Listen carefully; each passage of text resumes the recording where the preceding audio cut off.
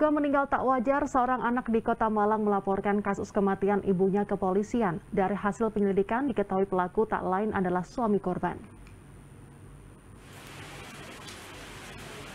Meninggalnya seorang perempuan berinisial R warga Jalan Ampret, Sukun, Kota Malang yang terjadi pada Jumat pekan lalu awalnya dianggap sebagai kecelakaan, terjatuh di kamar mandi rumahnya. Namun saat akan dimakamkan, anak kandung korban menemukan sejumlah kejanggalan, terutama adanya luka di kebagian kepala. Tak berselang lama setelah melaporkan kasus tersebut, tim penyidik Satreskrim Polresta Malang Kota melakukan penyelidikan. Hasilnya, polisi menemukan titik terang korban dibunuh SF suami istrinya secara berencana.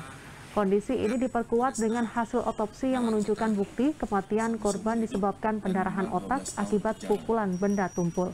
Polisi mendalami korban yang dibunuh karena permasalahan ekonomi lantaran pelaku tidak memiliki pekerjaan dan penghasilan. Dalam pemeriksaan tersebut eh, yang bersangkutan mengakui telah melakukan penganiayaan, pemukulan kepada korban. Terjadi beberapa kali di bagian kepala belakang.